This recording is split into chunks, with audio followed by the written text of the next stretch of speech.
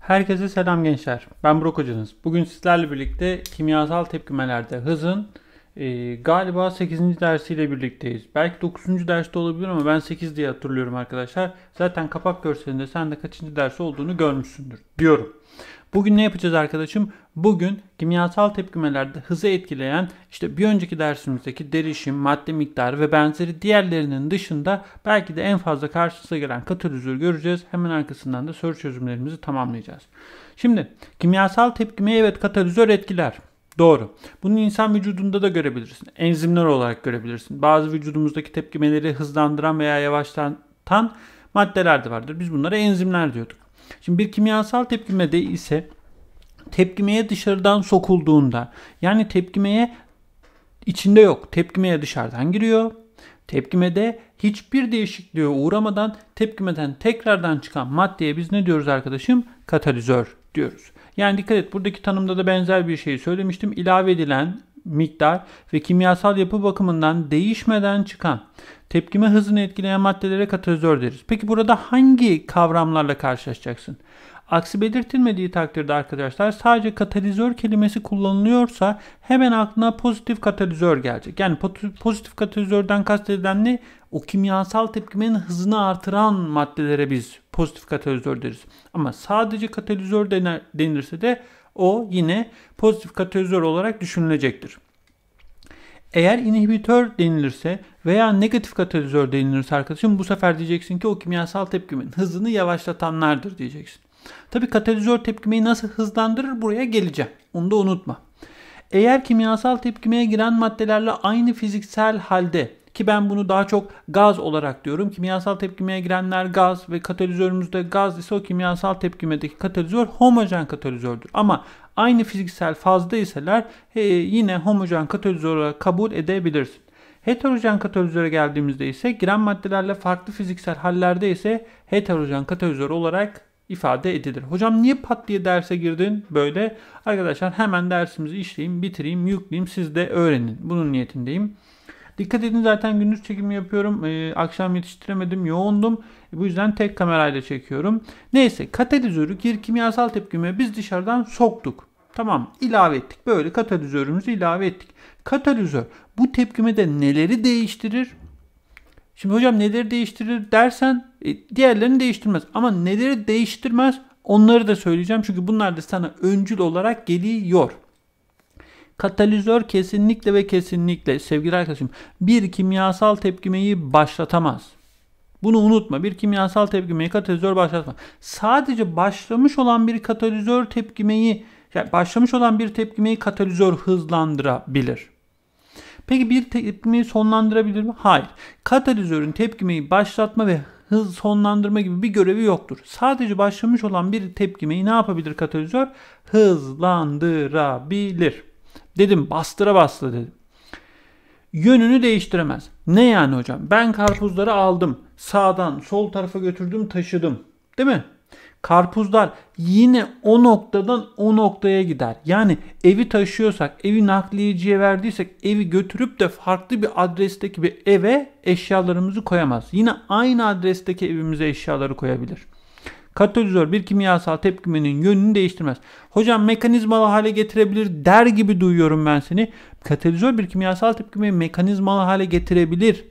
Ama yönünü değiştirdiği anlamına gelmez. Giren maddelerle ürünlerimiz yine aynıdır. Fark eden hiçbir şey olmaz. Verimi etkilemez. Ne yani dışarıdan katalizör ilave ettim diye giren maddenin mol sayısı veya ürünlerin maddelerin mol sayısında bir değişiklik olur mu? Olmaz. Kesinlikle olmaz. Yani kısacası verimi etkilemez. Peki hocam bir kimyasal tepkimenin hızını yazdığımızda R eşittir K çarpı köşeli parantezde molarite yazıyorduk. Burada şunu düşünüyorsun hemen. Hocam katalizör ilave ettik. Maddelerin molaritelerinde bir değişiklik olmadı. E hocam K sabitimiz ne olur? E hız artacağı için bak katalizör dediğinde direkt pozitif katalizörü düşünüyorsun. R artacağı için mecburen neyin de artması lazım? K'nın da artması gerekmektedir. Yani katalizör neyi etki eder? K hız sabitini artırır. Bunu unutmayalım. Devam ediyorum sevgili arkadaşım. Aktivasyon enerjisini değiştiren tek faktördür. Hocam aktivasyon enerjisi, aktivasyon enerjisi hemen gel bunu grafiğe dökelim. Tamam mı sevgili arkadaşım? Bak şimdi. Şuraya bir tane aktivasyon enerjisi grafiği çizelim. Şöyle bir çizgi çektik. Şöyle bir çizgi çekelim. Bunları ok haline getirelim. Sevgili arkadaşım giren maddeleri ürünlere dönüştürelim. Endotermik bir grafik çizdik. Potansiyel enerjiye karşı tepkime koordinatı zaman grafiği çizdik. Hocam aktivasyon enerjisi neydi? Biz aktivasyon enerjisini görmüştük önceki derslerde. Aktivasyon enerjisi şudur arkadaşım.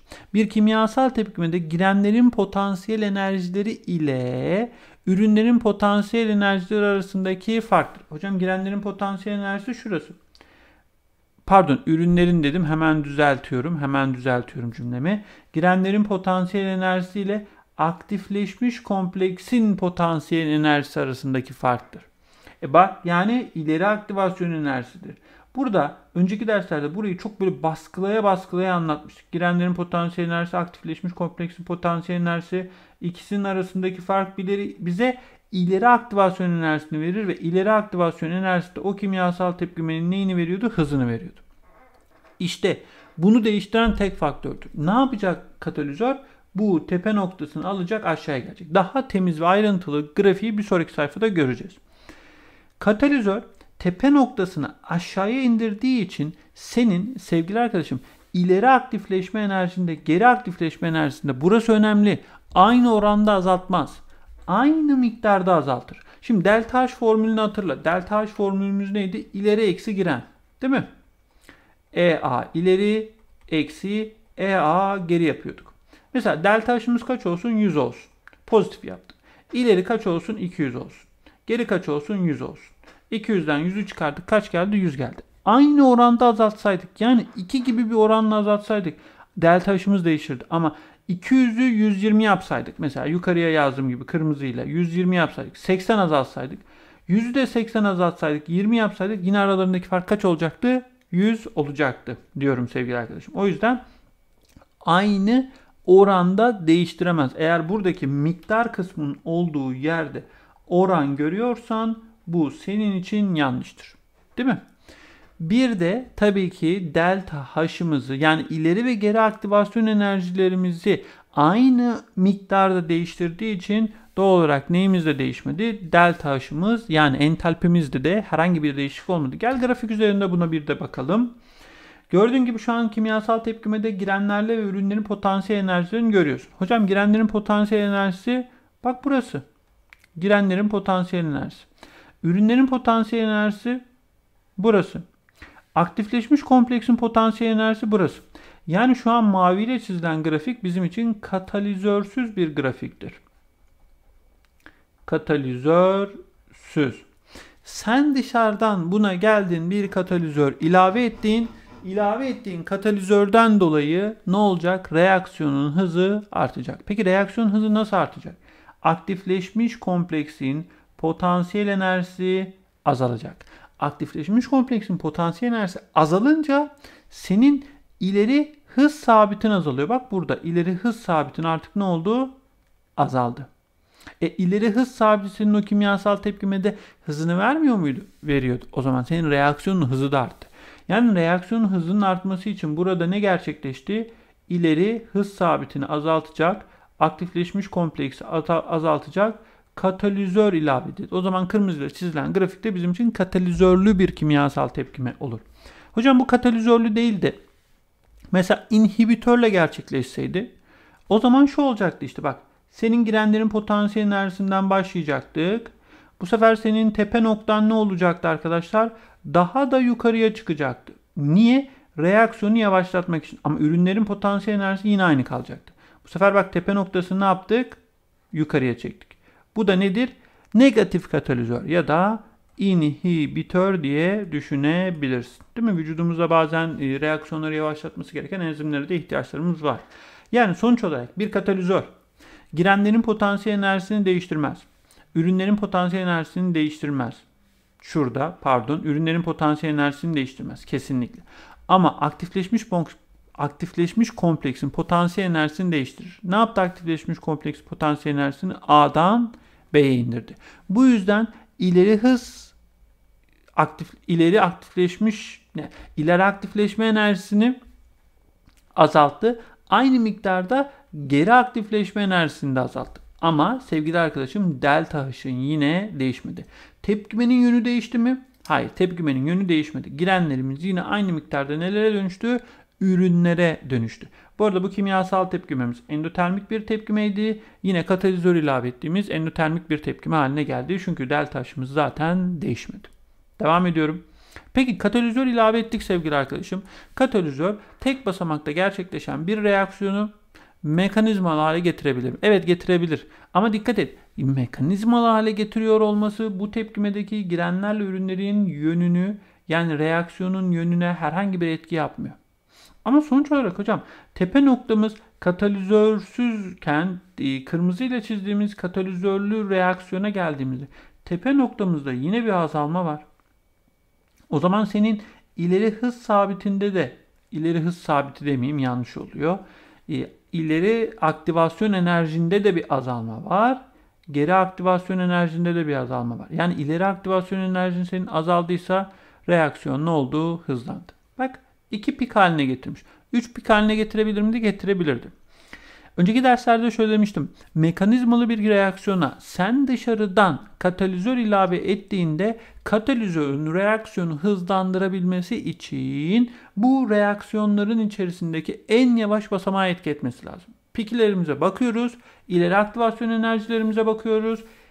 A değerimiz yani birinci tepkimedeki ileri aktivasyon enerjimiz, ikinci tepkimedeki ileri aktivasyon enerjimiz hangisi daha büyük? A daha büyük. O zaman katalizör burada nereye? Yavaş basamağa yani ileri aktivasyon enerjisi büyük olan pike etki eder diyorum. Devam ettim. Ben dışarıdan katalizörü ilave ettim. Katalizör ne yaptı? Tepe noktasını aşağıya çekti. O zaman tepe noktasını aşağıya çektiyse tepeye aşabilecek böyle böyle son noktalara gelmiş ama dağı dağı aşabilecek insanların böyle enerjisi bittiğinde karşı tarafa geçemediler ya. Değil mi arkadaşım? Ne oldu ben tepeyi aşağı indirdim katalizör sayesinde. Bu sefer karşı tarafa geçebilen insan sayısını arttırdım. Bunu da kinetik enerji grafiği üzerinden konuşacak olursak başlangıçtaki EA1'imiz katalizörsüz bir reaksiyonken sonra EA2 ise katalizörlü bir reaksiyondur. Çünkü aktifleşme enerjisini aşağıya çeken nedir? Katalizördür. İlk kısımda taralı alanım bu kadardı. İkinci kısımda ise toplam taralı alanım ne oldu? Arttı.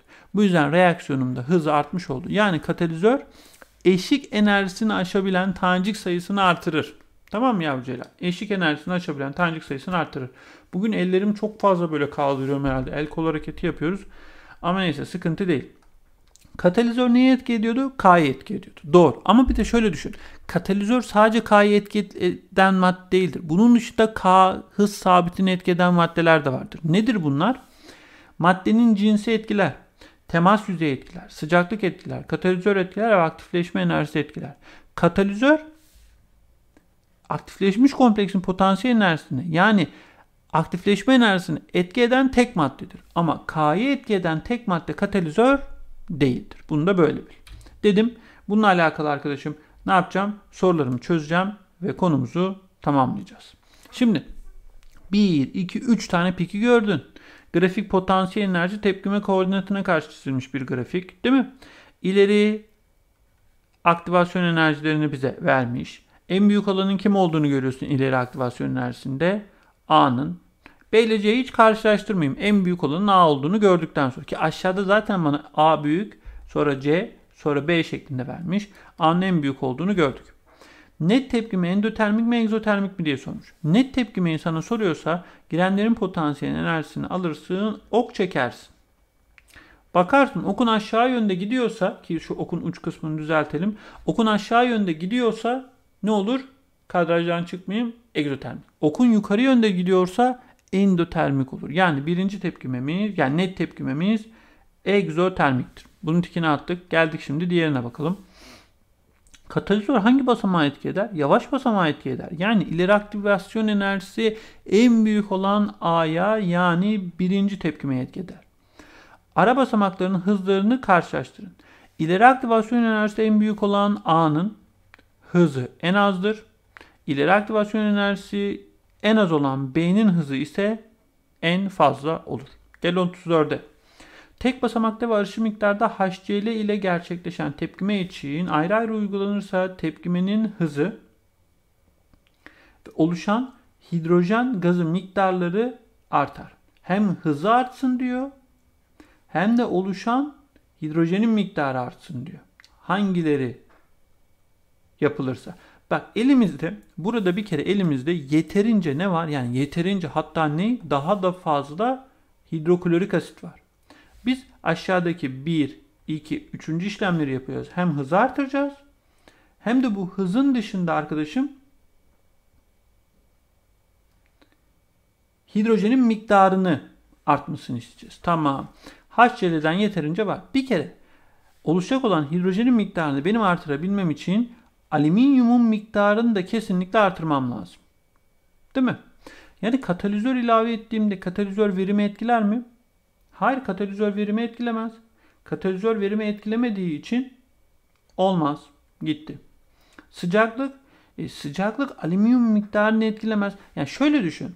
Sana demiş ki miktarını artırsın. Ben olaya miktar üzerinden gidiyorum. Hidrojenin miktarının artabilmesi için alüminyumdan zaten aşırı varsa pardon hidroklorik asitten aşırı varsa alüminyumun miktarını da artırman lazım ki oluşan hidrojenin miktarı artsın. O yüzden sıcaklığı da alamam. Ama alüminyum toz haline getirirsem alüminyum toz haline getirdiğin için hem hızı artar bir de miktarını artırırsan o zaman oluşan hidrojenin mol sayısı da artar. Cevabımız da yalnız 1 olur. Yalnız 1 olur cevabımızda. Geldim devam ediyorum diğer sorudan. Şimdi bir tepkime var. Bak burada bir katalizör var. Okun üzerine dikkat ettin mi? Okun üzerinde yazılan bizim için katalizördür. Ne fiziksel halde? Sulu fiziksel halde. Değil mi? Tamam. Giren ne? O da sulu. Tamam. Brom, brom sulu çözeltisi kullanıldığında tepkimenin hızlandığı gözleniyor. Tepkimenin hızlandığı gözleniyorsa o zaman o bir katalizördür.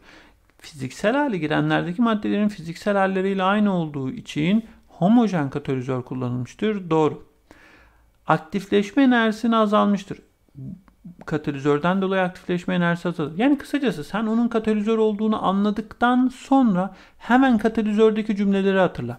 Aktifleşme enerjisi azalır. K hız değeri sabit artar. Tepkimenin entalpisini katalizör etkilemez. Bak katalizörün cümlelerini bir önceki anlattığım cümleleri hatırlarsan o cümlelere göre tik atarsın. Sadece dördüncü öncüde dersin ki fiziksel halleri aynı olduğu için o da homojen katalizördür. Cevabım 1, 2 ve 4 olur bize doğruyu sordukları için. Devam ediyoruz. Örnek 36'dayız arkadaşlar. Tek basamakta gerçekleşen yukarıdaki tepkimin uzun süre gerçekleşmesi için, uzun sürede gerçekleşmesi için yani reaksiyonu yavaşlatabilmemiz için katalizör kullanamayız bir kere. Direkt eledim dikkat et. Sıcaklığı azaltırsan reaksiyon yavaşlar doğru. X2'nin değişimini azaltırsan doğru. Çünkü niye? Bizim hız ifademizde R eşittir K çarpı girenlerdeki X2 ile ne var? Y2 var. İşte sen buradaki x2'nin derişimini azaltırsan mecburen ne de azalır? Hız da azalır. Temas yüzeyini artırmak. Temas yüzeyini artırmak reaksiyonun neyini artırır? Hızını artırır. Bu yüzden bu bizim için olmaz. Katı hale getirmek temas yüzeyini ne yapacaktır arkadaşlarım? Azaltacaktır. Temas yüzeyini azalttığında ha pardon hatta katı halde demeyelim temas yüzeyini şöyle söyleyeyim. Giren maddelerimiz gaz mı? Gaz. Gaz reaksiyonları her zaman katı reaksiyonlarından daha hızlıdır. Katı hale getiriliyorsa reaksiyon yavaşlar. Bu durumda cevabında 1, 2 ve 4 olur. Bize uygulanabilir dediği için. Devam ediyorum. Şıkları olan hemen birkaç tane soru çözelim arkadaşlar. Grafiği görüyorsun. Yukarıda cümleyi vermiş ama eşik enerjisini aşağıya çeken bir şey var.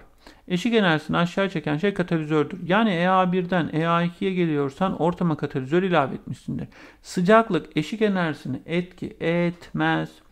Tepkimenin hacmini değiştirmek etki etmez. Yani şu gördüğün grafiği var ya şu grafiği veren sadece katalizördür. Yani bu grafiği gördüğünde katalizörü al geri kalan her şeyi elinin tersiyle at. Cevabında ne olsun? A olsun. Katalizör ile ilgili tamamen sözel bir soru. Enerjisini düşünen yani tepe noktasını aşağıya çeken. Doğru. Tepkimenin mekanizmasını değiştirebilir. Doğru. Hız sabitini K'ya artırır doğru. Tepkimeyi başlatamaz. Doğru ve sonlandıramaz.